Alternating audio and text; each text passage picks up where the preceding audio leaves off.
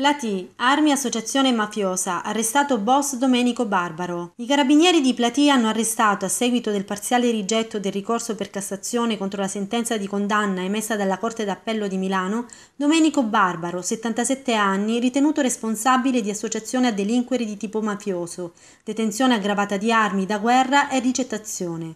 Barbaro era stato scarcerato per decorrenza dei termini nell'ottobre 2013. Era considerato ai vertici dell'Andrangheta in Lombardia.